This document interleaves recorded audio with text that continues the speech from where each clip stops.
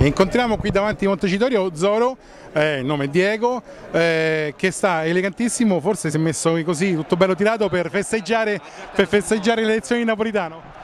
No, c'ho la giacca perché in Parlamento si entra con la giacca, quindi oggi faceva più freddo mi sono messo questo.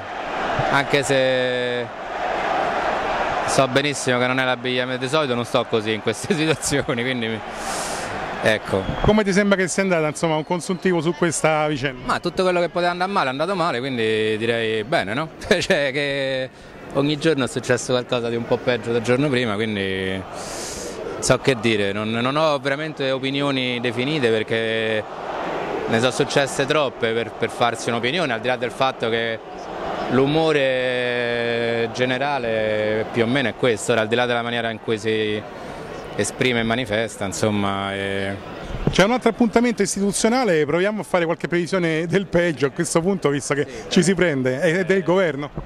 Ah vabbè, il governo che ne so, se c'è chi dice Amato, c'è chi dice Enrico Letta, ma mi sembra a questo punto quasi, no, un dettaglio no, però voglio dire, è stato fatto tutto affinché ci fosse almeno un governo e quel tipo di governo, che era quello più in, inviso, no? Beh, la memoria di Amato insomma è... Non lo so bene perché effettivamente c'è tutta una parte che non vuole, che, che- che si vede meno ma che vota. Berlusconi ha preso un sacco di voti, cioè, perché poi uno queste cose se le dimentica, non sto dicendo che, cioè, perché uno no, tende a rimuovere sempre questo fatto salvo poi andare a, a votare e accorgersi che Berlusconi comunque 10 milioni di voti li porta a casa sempre, quindi non so se per fare il governo col PD, ecco magari questo no, ma non so veramente che dirti, guarda, Eh, ovviamente non era, non era il mio augurio, ecco, io non... Grazie Diego Zoro. Senti, un eh, eh, diciamo, annuncio, dove possiamo, un'informazione per chi ci segue su Libri TV, dove possiamo vederti?